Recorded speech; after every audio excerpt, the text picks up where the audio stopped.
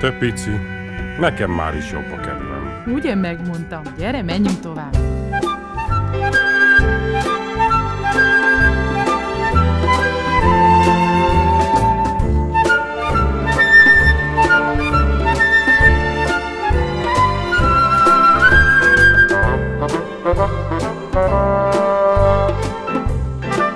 Te pici, valaki fagottozik a közelben.